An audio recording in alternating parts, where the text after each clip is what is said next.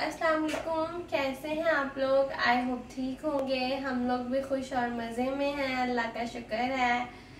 आज मैं आप लोगों से शेयर करूँगी चटनी खुबानी की। मैंने 500 ग्राम खुबानी ली है, जिसको मैंने दो कप पानी के साथ बॉईल करना रख दिया है। इसमें मैं डालूँगी शुगर नमक और थोड़ा सा चाट मसाला। ये देखें। खुबानी की चटनी में लोग इमली भी डालते हैं, लेकिन मैं नहीं डालूँगी। मैं, मुझे बस सिंपल सी ही पसंद है तो मैं इसको ऐसे ही उबाल लूँगी। जैसे ही ये अंदर तक सॉफ्ट हो जाएगी, फिर हम इसको ब्लेंडर में ब्लेंड करेंगे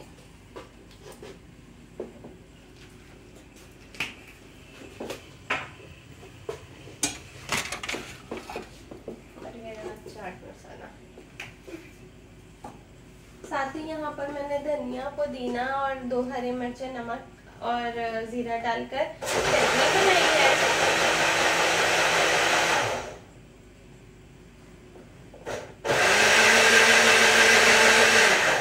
ये देखें। चटनी मेरी तैयार हो गई है। दूसरी तरफ़ मैंने आज सोचा कि क्या बनाएँ तो मैं, हम लोग शॉप से खाते हैं। रेनबो सैंडविचेस, मैंने रेनबो सैंडविचेस की यहाँ तैयारी की है। रेनबो सैंडविच में ग्रीन चटनी लाजमी होती है, मस्त है, इसलिए मैंने साथ ही ग्रीन चटनी भी रेडी की है। ब्रेड के स्लाइस के किनारे मैंने काट लिए थे और अब मैं इसको तवे पे गरम करूँगी। टोस्टर में भी गरम किए जा सकते हैं, लेकिन मुझे सॉफ्ट ही चाहिए, उसमें बहुत हार्ड हो जाते हैं तो इस वजह से मैं इसको इसी में रहने दूँगी। तवे पे हल्का हल्का करूँगी। Welcome to my channel. My name is Ishan मैंने मामा की हेल्प की है। अफ्तारी की तैयारी। क्या हेल्प किया आपने मेरी बेटी ने? मैंने मिल्क हम्म। मैंने मिल्क को कट किया। हम्म। और और और छोटे छोटे पीसेस किए। और ये अंबर हाँ ये ठीक कह रही है। अब वो पाकिस्तान से आई थी तो इसके लिए ये ड्रेस लेकर आई थी। शायद को पाकिस्तानी ड्रेसेस पहनना बहुत पसंद है। Yes.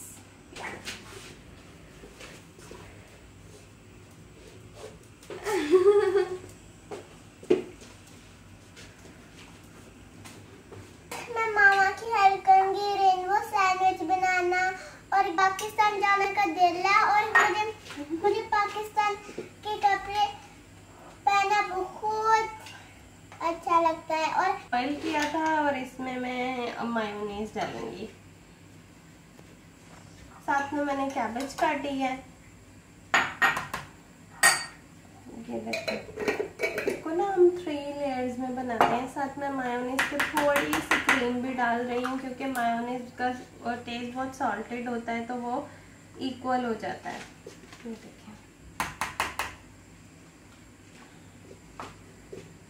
क्रीम तो मैंने नीचे एल्बर्टाइन से ही लिया है मायोनीज भी नीचे एल्बर्टाइन से ही लिया है। इसको अच्छे से मिक्स करेंगे, ये हमारा चिकन का बैटर रेडी हो जाएगा। अफ्तारी में रोज़ रोज़ डिफरेंट तरह की चीज़ें खाने का बहुत दिल चाहता है। आप लोग भी कमेंट करके बताया करें कि आप लोग क्या खाते हैं अफ्तारी में। हम लोगों के तो रोज़ कुछ ना कुछ प्लानिंग होती है कि कभी चिकन बना लें, कभी कुछ बना लें। इसमें मैंने नमक डाला है ब्लैक पेपर डालूँगी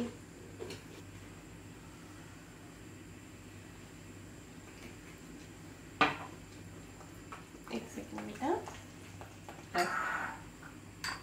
कैबेज में मैंने थोड़ा मायोनीज डाला है और साथ में हम डालेंगे केचप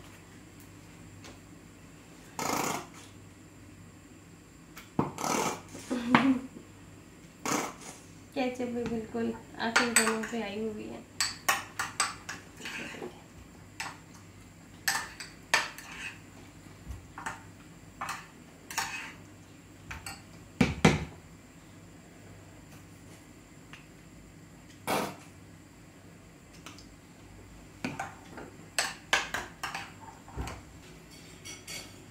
ये देखिए, मैंने ब्रेड पे ये एक मायोनीस की और चिकन की लेयर लगाई।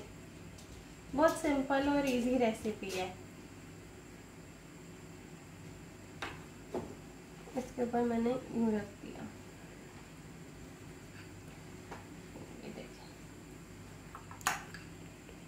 केचप की और कैबेज की लेयर है।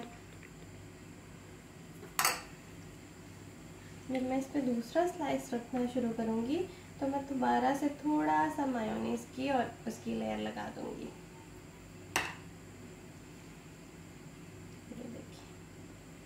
अब इसी के ऊपर हम ग्रीन चटनी स्प्रेड करेंगे।